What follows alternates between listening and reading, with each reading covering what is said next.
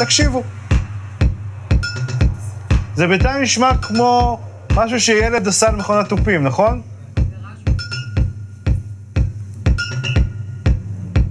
דרך אגב, אתם לא טועים. מה שאתם שומעים זה שלושה ילדים משיקגו, בני 16-17, בשנת 1984.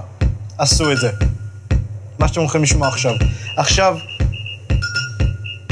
מה שאתם שומעים כרגע, בגללו יש מוזיקה שנקראת אסיד, על שם הקטע. עוד רגע תבינו למה. הנה זה בא.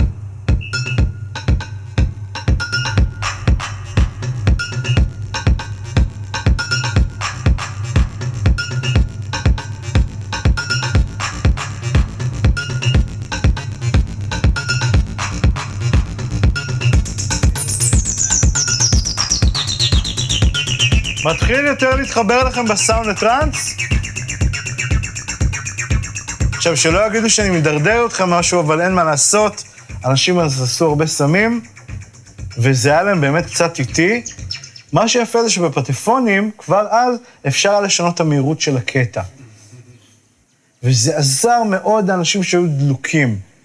בפועל, הקטע הזה ניגנו אותו ככה.